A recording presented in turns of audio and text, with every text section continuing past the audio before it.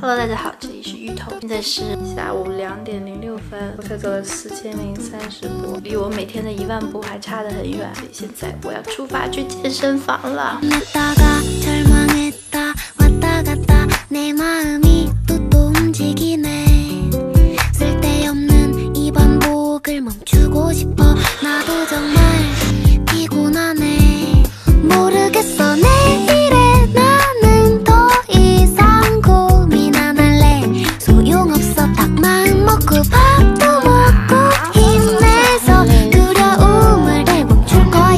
在是三点十二，这就是我现在的状态。到底一会儿呢，我就洗个澡，然后出去吃饭。吃饭是最快乐的。呃，我去洗澡了，拜拜。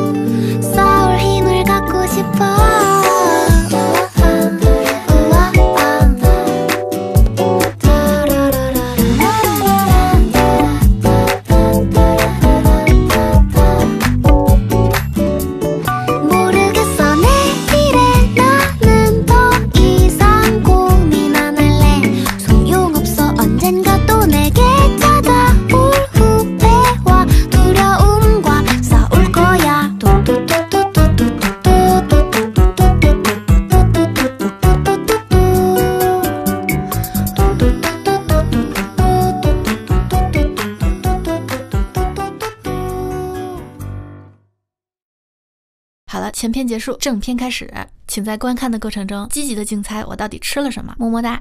这些鱼肉基本之前都处理好了，现在师傅只是捏到一起。你看他抠了一块醋饭，捏吧捏吧？然后把芥末抹在鱼肉下面，再把寿司握紧。对，现在你们知道了，高级寿司都不用自己蘸芥末的，也不用自己刷酱油哦。哼哼哼哼，这位师傅都会帮你弄好。如果不合口，可以跟他说进行调整。这片鱼他们处理的很好，鱼肉自身很清甜，所以没有过多的调味，就这样端上来了。看看这个色泽，这个纹理，你们猜到是什么鱼肉了吗？处理处理爪子就可以吃啦，不错吃哦。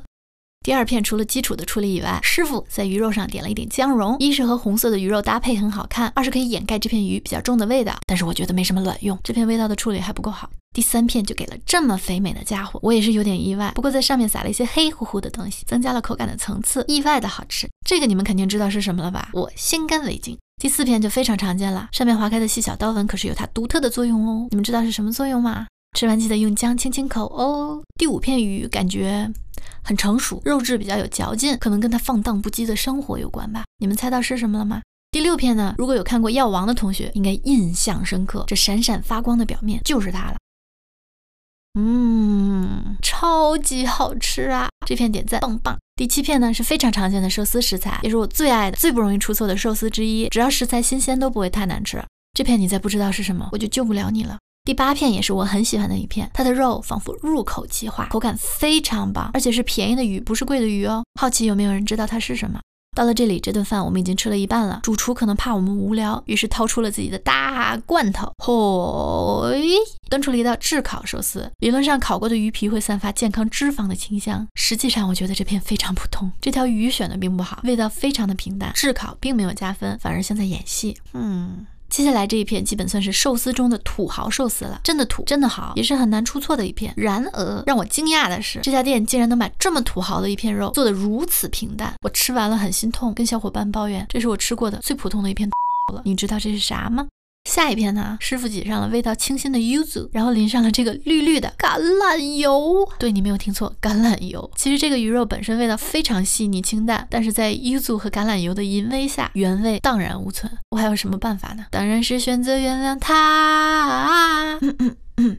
在经历了连续三片的失望以后，师傅终于拿出了新姿势，这回先揉饭团，再用海苔搭一个小围墙，然后掏出了掏出了我的最爱。这片你再出错，就可以不用开店了，真的。我觉得这个大家应该都认识。哇，这每一勺挖的都是我的小心肝小宝贝啊！讲真，我生怕它分配不均匀，然后我摊到比较少的那一块。还好最后它雨露均沾了。不多说了，我忍不住了，让我好好疼爱疼爱你。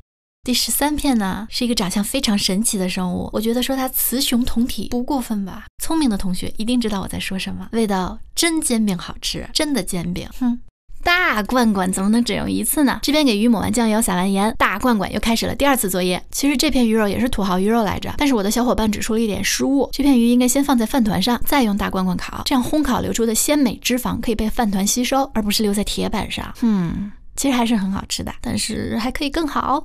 接下来呢，就是收尾的手卷了。其实这时我已经撑得吃不下去了，但是看到手卷里面有个黄黄的、很特别的东西，我还是礼貌的吃了下去。哇，这黄黄的东西居然居然是腌萝卜！这不是路边紫菜包饭的必备食材吗？哈，不过正好缓解了鱼肉的油腻，好吧，算你狠。最后的味增汤有股很重的柴鱼味，但是还蛮好喝的。用热汤来完结一餐，总有种幸福感啊！又是温饱的一天啊！他们家的厚蛋烧还蛮有特色的，是用烤的，很像蛋糕的样子，里面居然放了鱼肉和虾肉，吃起来非常湿润绵软。好吧，也算是满足的一餐啦，肥家。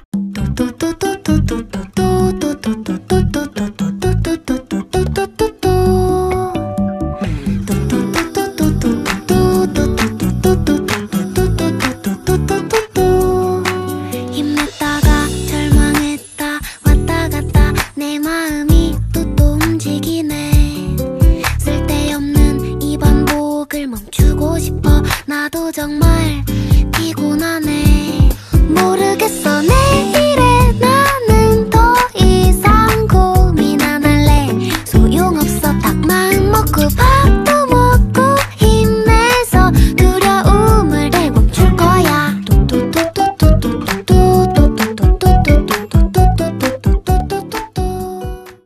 视频里出现的寿司，你认出了几种呢？正确答案过几天我会发一篇专栏来解释，希望大家都吃好喝好。如果你喜欢我的视频，就点赞支持我一下吧，啾咪！像粑粑。好了，感觉好像傻。